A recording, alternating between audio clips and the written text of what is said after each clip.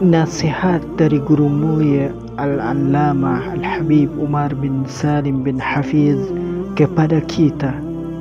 Beliau senantiasa berpesan kun ma'allah Jadilah kita yang berkepribadian senantiasa bersama Allah Subhanahu wa taala di dalam setiap saat, di dalam setiap waktu, di dalam setiap kesempatan. Sahabat fillah, kaki kita mungkin melangkah ke pasar, mata kita mungkin memandang barang dagangan, ucapan kita mungkin sedang mengurus perjualan masalah dunia, akan tetapi hati sahabat, hati kita harus senantiasa terpaut, terpaut kepada Allah Subhanahu wa Ta'ala.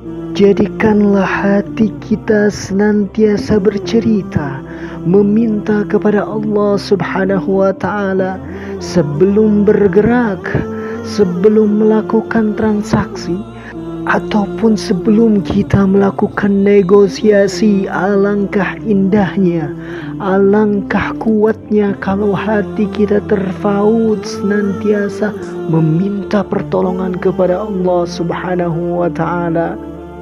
Karena andaikan jika urusan kita tidak ditolong oleh Allah Subhanahu wa taala, andai mata ini tidak bisa memandang, andai kaki ini tidak bisa berjalan, apa daya kita untuk mensukseskan keinginan kita?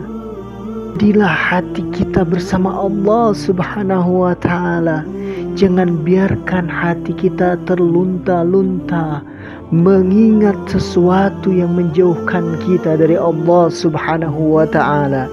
Jadikan kami ya Allah hamba yang pandai memohon kepadamu, hamba yang pandai bersyukur atas karuniamu. Ya Rabb